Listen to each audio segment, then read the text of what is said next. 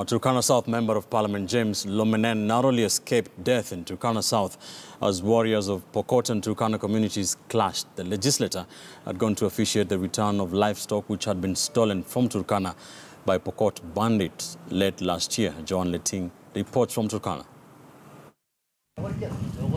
As the meeting went on, Pokot warriors stormed in claiming that they were shortchanged by the Turkana community. The warrior asserted that they were handing over livestock, yet the Turkana people had not released theirs. Turkana warriors, on the other hand, accused the Pokot warrior of insincerity, noting that he had not released all the cattle that he stole from the Turkana community. They claimed that the man stole 27 heads of cattle from Turkana and had released only eight of them. Tension escalated as the man declined adamantly to return the kettle as he stood in the middle of the baraza. Turkana elders were angered and were forced to step in and force the Pokot warrior to leave the meeting, which led to the destruction of the meeting.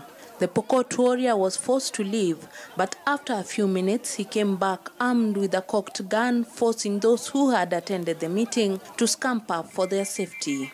The journalists present also dashed off lest a stray bullet came for them. As tension escalated, the warriors from the two communities kept arguing and fistfights were now taking over as obscenities rented the air over what they had termed as mistrust and dishonesty.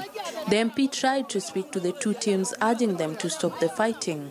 He then went on to speak to the few elders from Pokot and Turkana who had remained unshaken as the scuffle went on, urging them to speak to their young men and to distribute the animals that had been surrendered. The MP has called on the Cabinet Secretary in charge of Interior, Joseph Nkaiseri, to ensure that the area is secure. It was a life threat and we were almost losing life. If one, because everybody was armed in that meeting in Akwamoru, both Pokot and Turkana, there was tension already.